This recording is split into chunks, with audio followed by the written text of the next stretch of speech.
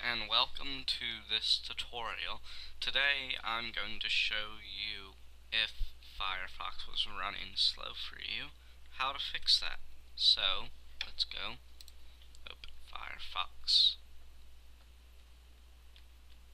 And believe it or not, that's actually a lot faster than it used to. So I'm going to show you how to fix that.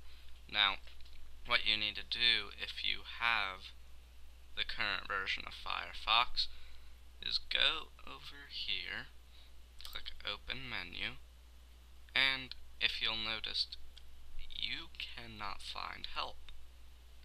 There is that, but that's not what we want.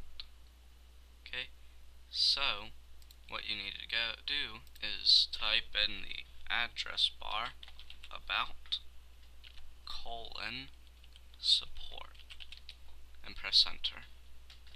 Okay, and this will come up and the Firefox symbol will be there to show you that it is this Firefox.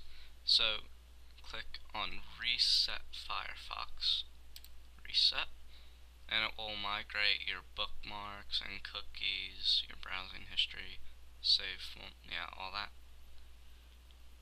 And then all the old data goes in there.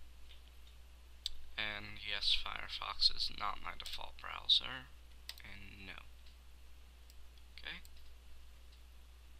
And then this is the home page, so you'll have to change that again. And that's all there is to it. Thank you like this video, subscribe, and goodbye.